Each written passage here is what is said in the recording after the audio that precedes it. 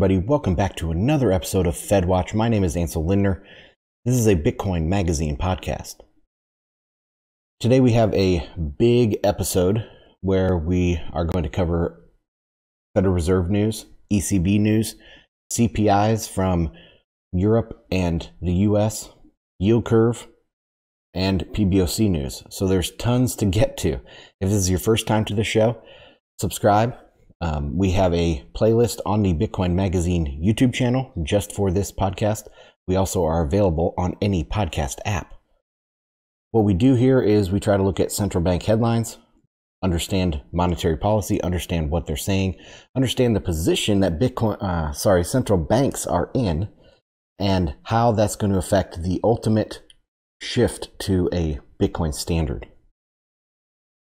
So I don't always talk about Bitcoin on this show, at least as much as I talk about central banks and the dollar. But just understand that Bitcoin is the future. So when people talk about Bretton Woods 3 recently, that's been all the buzz. What Bretton Woods 3 means to me is Bitcoin. That's the next system. So, anyways, let's go ahead and dive in to some of our news. This is Federal Reserve calendar news. Powell is speaking tomorrow. I'm recording this on 420. So he is going to be speaking tomorrow at the University of Pennsylvania. This is just, you know, a speech circuit that he goes on, but we can expect some headlines from what he's talking about monetary policy wise. Will he be as hawkish as they have been recently? Um, we're getting some CPI data out from the United States that could be showing possibly a turnaround in the CPI. It well, we'll cover that when we get there. Uh, the next big thing on the agenda for the Fed is May 3rd and 4th is the big, long-awaited FOMC meeting.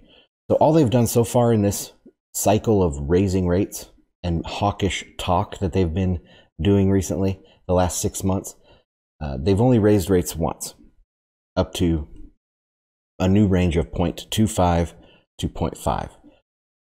So they haven't, they've talked a lot, but they haven't really done much. And this is going to be the first meeting where they possibly could raise rates up to 50 basis points. Now, there has been Bullard. He's the president of the St. Louis Fed. He's come out recently and talked about a 75 basis point rise, as well as getting to 3.75% on Fed funds by the end of the year. Now, that is just crazy. It's way out of bounds. I, I will go on record saying that's not going to happen. And he knows much better than I do that that's not possible to get to 3.75 by the end of the year. Now, so then why would he be calling for that?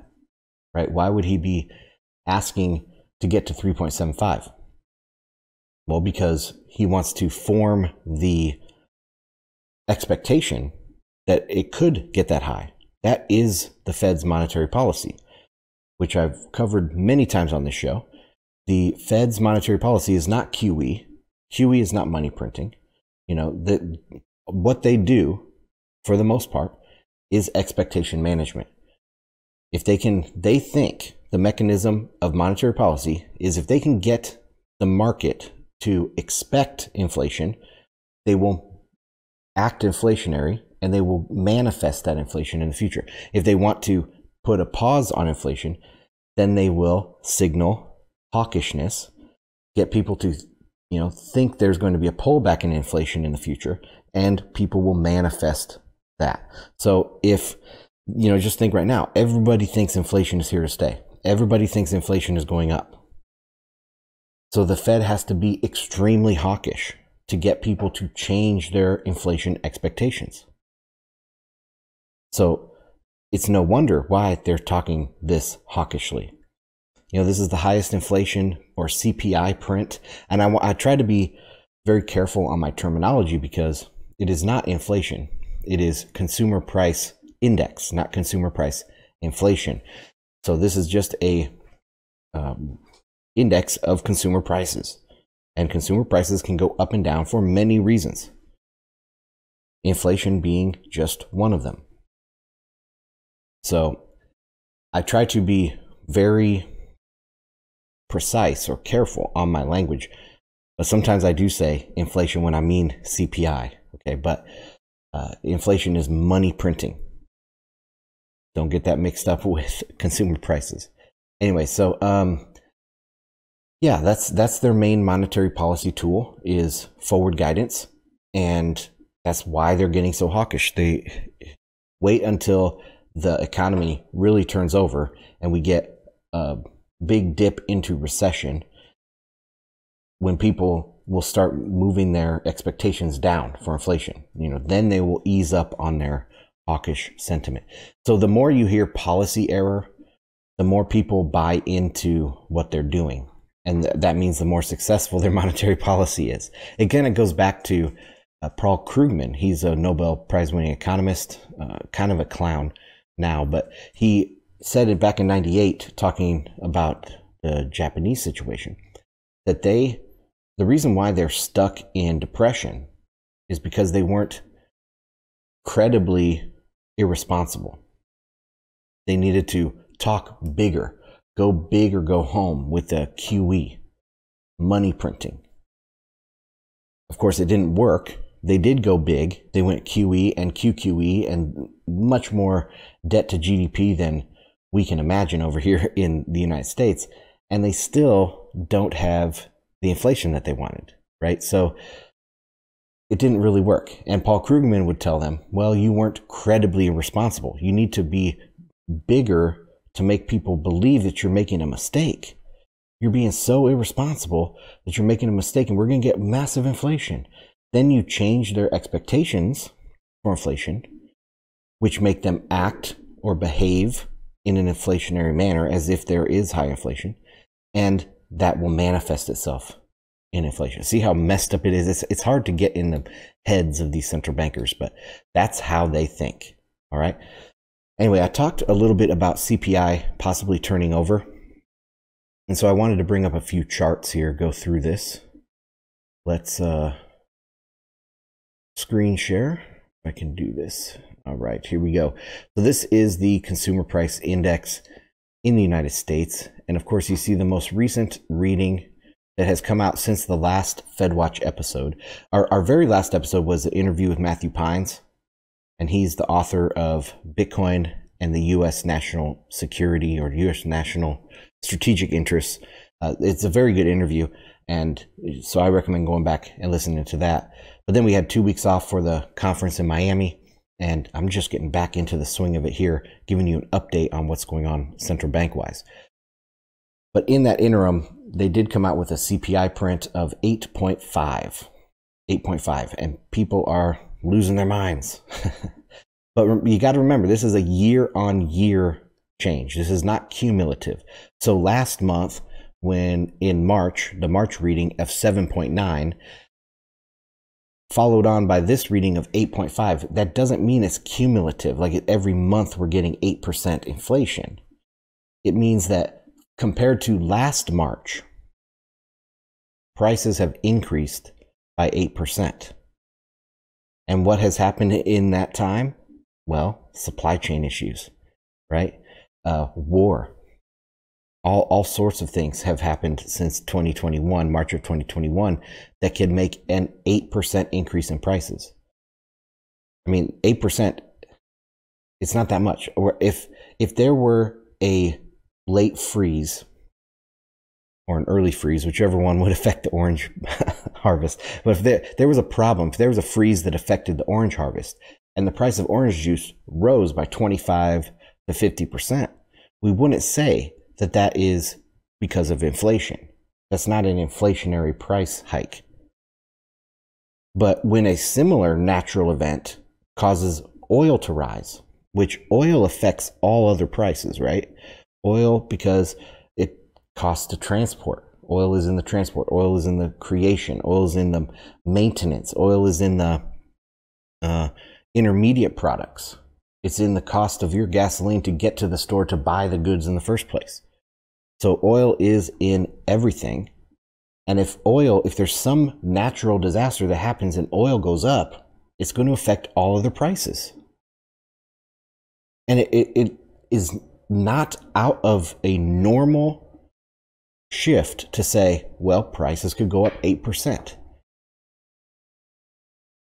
If oil doubled in a matter of a year and all other prices went up by 8%, that's not out of the realm of possibility. So if this is year on year, let's just go back here to March of 2021 to get an understanding of this. So back then the CPI was at 2.6%. Sorry. 2.6%. And if uh, you know, the prices back then compared to today, that is the 8% difference. Now, what happened in April of 2021? We had an acceleration, big time acceleration upwards in the CPI to 4.1. So from 2.6 to 4.1, that was the biggest acceleration. Then May, it also went up almost to 5, 4.94. So big acceleration in April and May. And back months ago, I don't remember if it was December or January, um, we got a discussion on the show here about when we could see CPI turn over and start coming down. And I said, well, look, CPI took off in April and May of 2021. So most likely April and May this year, we'll start to see a decrease because year over year, we're talking about year over year prices. So pretty much if if the rate of change is less between this March and this April than last March and last April, we'll see a decrease in the CPI. And it can move pretty quickly. Uh, the CPI can crash pretty quickly. But th- anyway, that's that's. Um, I'm not calling for a crash of CPI, but I do think we're going to see some uh, flattening out and perhaps a turn back down in the CPI. So that is uh, we, we see some signs of this already, like the month on month numbers. So not only the year over year, they have a month on month change. And in the core CPI, that doesn't include these volatile parts like food and energy, which, of yes, are very, very important, but they are volatile due to natural causes, natural reasons that aren't money printing. So if we're trying to talk about inflation here, take out food and energy, the core CPI slowed down dramatically in March, down to 0.3% month on month. I think from 0.8 to 0.3. And we could see an actual decrease in the core CPI, maybe a negative print. And if that's the case, we could see a negative shift in the CPI trajectory lower. Now that's what we're talking about transitory. Transitory is a term that got has been laughed at now but really, it's been a year, right? Since April of 2021 when CPI really took off. How fast do you want transitory to be? I think under two years would be a decent time. We're talking about massive disruptions from COVID, reopening, and now Ukraine and all, another COVID outbreak over there in China. So you have these massive disruptions in the global economy and the sanctions. It's not the war, it's the sanctions that matter over there in Ukraine. But uh, I, I mean, how transitory do you want this to be? It's going to take years, maybe two or three years to have go through this cycle. That's what transitory means. Not what people think is, oh, is a two month bump. No, it's it, basically Powell was saying by transitory is that it's not a big change in trend. It's just a temporary change and it will be back on trend. And trend is down there at two, one to two percent inflation. Anyway, I, I think I beat that dead horse. Let's take another let's take a look at another chart here. This is the University of Michigan inflation expectations. Of course, this is consumer prices expectations, not necessarily inflation. Um, but it's really stuck under 5% here. So it's been 4.9 for the last two months. And since they started really talking hawkish at the end of last year, it's uh, really slowed and flatlined just under 5%. Of course, during the great financial crisis, it did get over 5% for several months. So it has not gotten that high this time. And it, this is a result of jawboning, right? What the Fed is saying that they're trying to really push down on inflation, that's going to affect uh, consumer inflation expectations. So this does look also like it's flattening and possibly turning over. Let's take a look at another story here out of the Federal Reserve. This is a press release from April 11th, 2022. And it's titled Inflation Expectations Decline in the Medium Term, Increase in the Short Term. So the median, this is a result of a survey from the Fed, the New York Fed. The median one year ahead inflation expectations increased from 6% to 6.6 in February. So February did have an increase in the one year inflation expectations. But then when they pull that out to the three year, the three year ahead inflation expectations, it decreased from 3.8 down to 3.7. So we're starting to see some of these inflation expectations flat, flatline, or turn over. Many different measures are flatlining or decreasing. Let's take a look at the bond market. So the bond market, the most, the largest, most liquid market in the world, the U.S. Treasury market. This is where these numbers come from. The five-year break-even is the uh, five-year constant maturity versus the five-year inflation protected security. So these are market rates. These are not like the Fed funds rate that is pegged at a certain range. This is a market rate and it stands for the average, like the expected average inflation over the next five years, the five year break even. And what do we have? It's at 3.3% in the latest reading, 3.3%. Now, that is above historical norms, I would say, over the last 15 to 20 years. I would say 2% would be the historical norm, but 3.3 is a long way from 8% CPI, right? So again, this is just showing that this these numbers, 8%, is probably not going to stick. It's probably going to come down towards this number on the five year break even. The 10 year break even is even more in line with historical norms. So the latest reading is 2.9, and that is, I would say, on average over the last 15 years on this chart, we can go between 2 and 2.5 is the average and this is at 2.9. So that's more in line with historical averages and also showing that even the 10 year average inflation going forward 10 years, the largest, most sophisticated market in the world is not seeing the inflation. It's not seeing the growth in inflation expectations. What about the five year, five year forward? Now, this is the granddaddy kind of of the inflation expectation measure. It's a formula where they uh, look at the period five years out to 10 years out. So not the nearest five years, but the second five years from today. And it is below the historical averages at 2.48. Again, on this chart, I have it pulled out for 15, 20 years, and looks like the average about 2.5. Um, it has been lower since 2014, but it is still at 2.48. So it's not at all above historical averages on this five year five year forward. So again, the largest, most sophisticated market in the world is not seeing the long term inflation.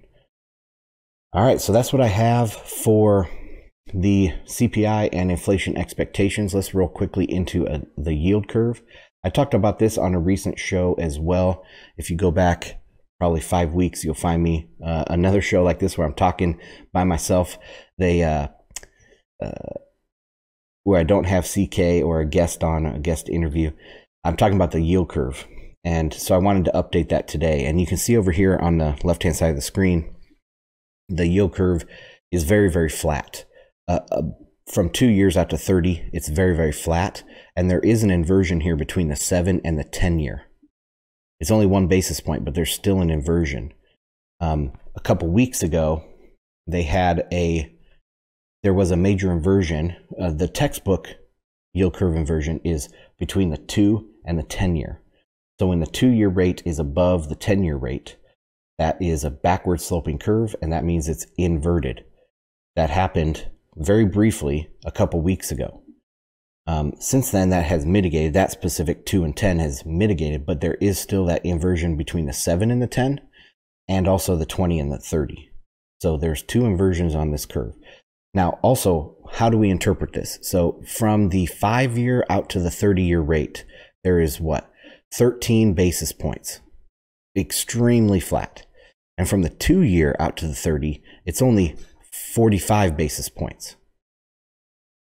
Again, extremely flat. Now, that tells me, that should tell the viewer of this yield curve, is that the bond market is expecting a future of low growth and low inflation. They do not they do not see a future of high growth, high inflation. If they did, it would be a steep curve. Especially at the back end, it would be much much steeper. Now, why is the front end steep? Well, that is affected by Fed expectations. So, what people expect the Fed to do in the near term.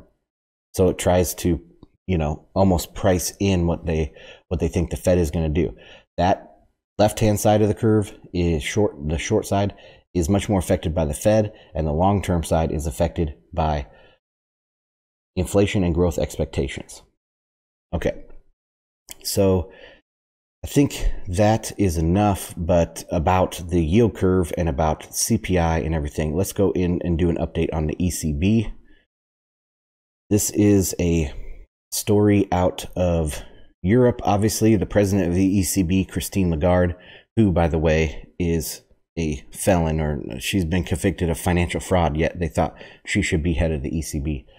Um, the ECB confirms the end of its bond buying in the third quarter as inflation surges. The ECB confirmed Thursday it will it will conclude its net asset purchases or QE uh, in the third quarter. The central bank faces a dilemma with inflation hitting a record high of 7.5% in March, while the economic growth outlook weakens due to the war in Ukraine.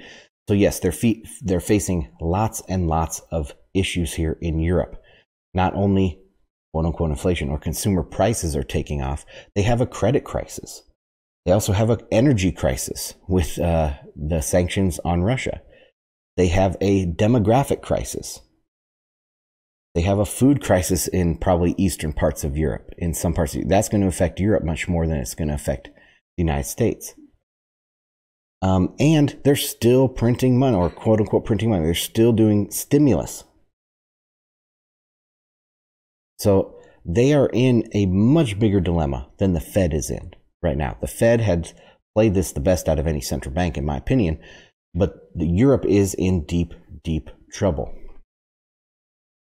So that doesn't make any sense with the if they're still doing QE and they have all these energy crises going on, how is their inflation rate which we're supposed to say is inflation, the CPI, is at 7.5, where the US is at 8.5. Let's, well, maybe the Fed has printed more money. Let's take a look at that. Here is a chart of the central bank balance sheets. The blue line is the ECB, red line is the Fed, and green line is uh, the BOJ. As you can see, the blue line is higher than the red line in this crisis, they have done more for their economy. They have printed more than the US has. And they're still in QE.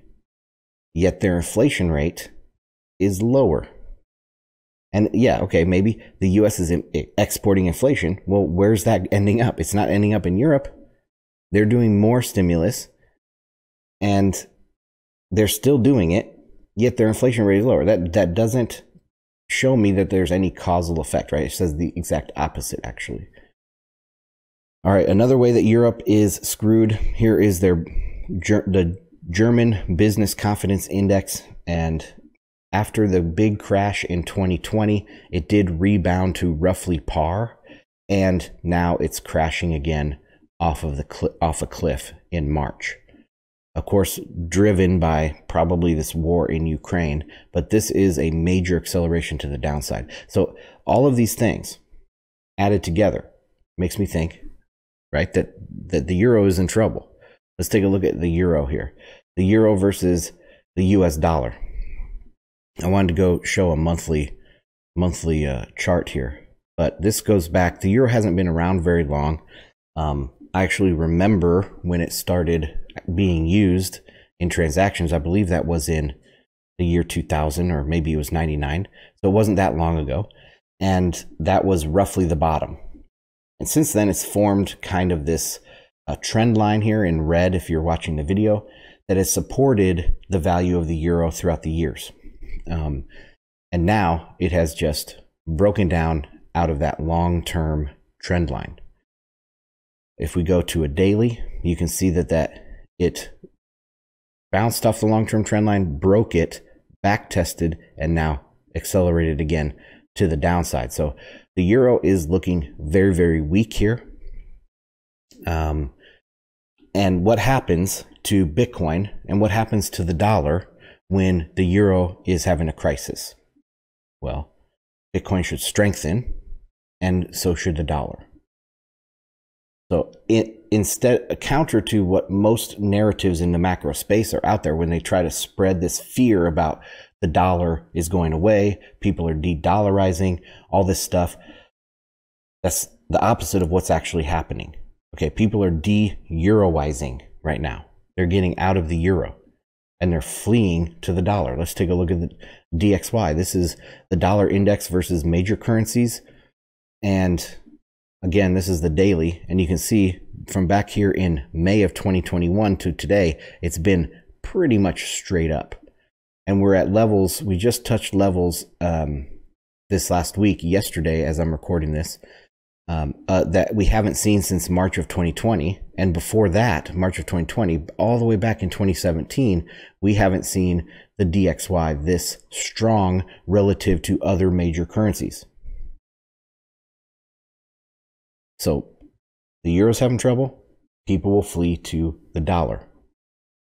All right. Um, what else? I, I, could take a look at all sorts of macro stuff. If you guys want me to take a look at charts in future FedWatch episodes, let me know. Um, but I do look at some macro stuff on my newsletter. If you go to bitcoinandmarkets.com, you can find my weekly newsletter. I have price analysis for Bitcoin as well as other macro analysis.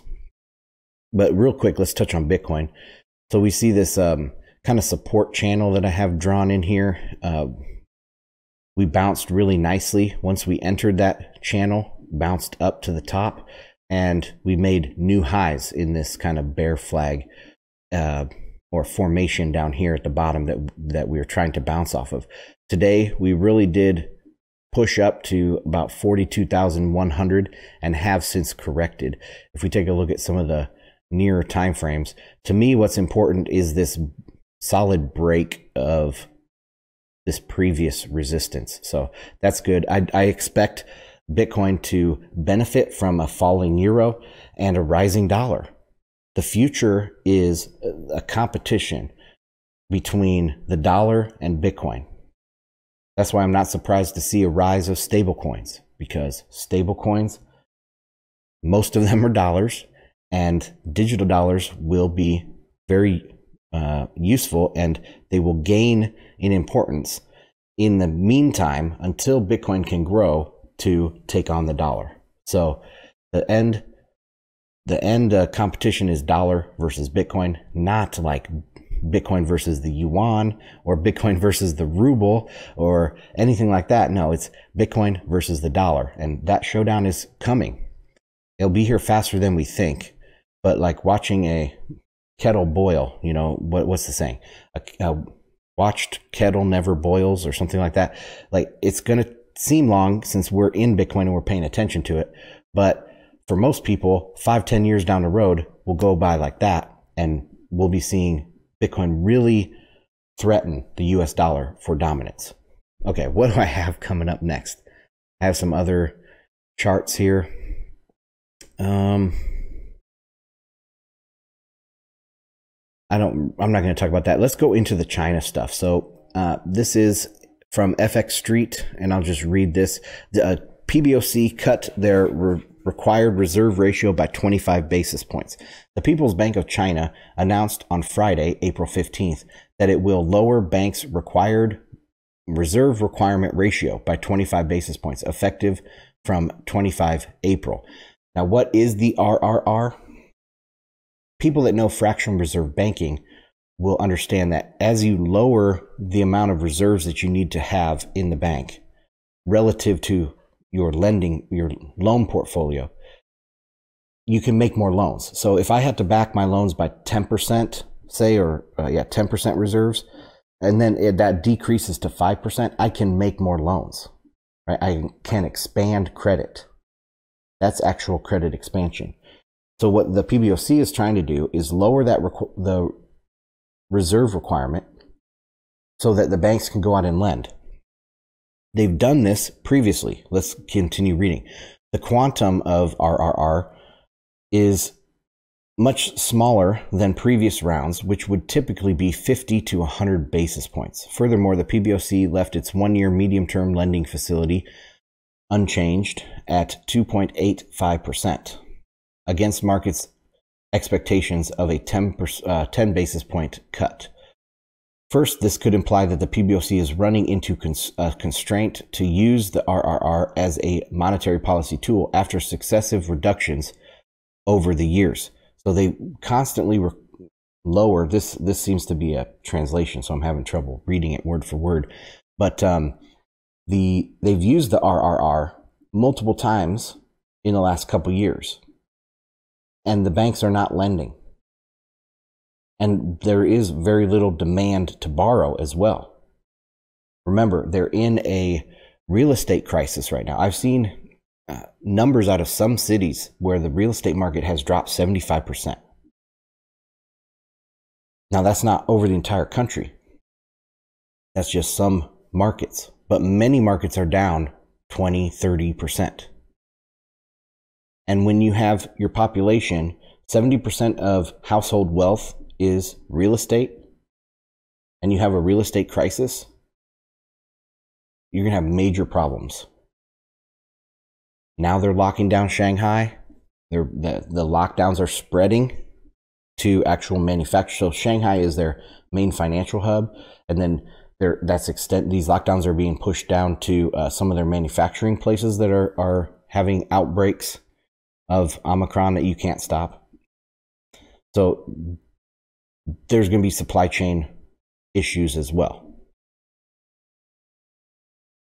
So China is looking very bad. They're not they're not in a position to backstop the global economy if we slide into recession. They're not in position to backstop Russia either.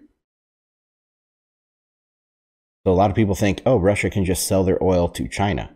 Well, Chinese demand has fallen in the first quarter, year over year, for the first quarter. Demand for coal dropped 40%. So all of this energy demand in a recession goes down.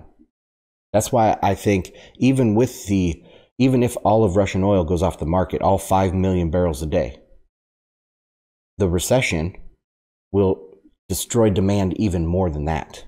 So the demand total demand might fall 10 million barrels. It'll still be supply will still outstrip demand. That's why I'm predicting a fall in oil prices a continuation of the trend that's been in place for the last 12 years. Maybe I need to flesh that out. So, the last 12 years after the great financial crisis, we've been in a one long recession. And yes, the numbers, you know, we can look at different GDP metrics. I mean, GDP is a flawed metric, but if we look at that, it hasn't been a consistent recession, but globally, it's been like a rotating recession around the globe since 2012, or sorry, 2008. And since then, we had a peak in the oil price and it's been trending down. I could actually show that chart. Let's pull up the oil price.